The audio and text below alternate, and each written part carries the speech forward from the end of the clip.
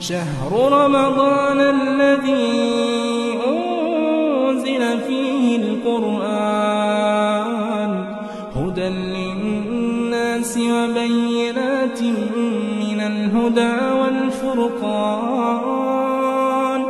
فمن شهد منكم الشهر فليصمه ومن كان مريضا أو على سفر فعدة من أيام أخر. يريد الله بكم اليسر ولا يريد بكم العسر ولتكملوا العدة ولتكبروا الله على ما هداكم. ولتكبروا الله على ما هداكم ولعلكم تشكرون.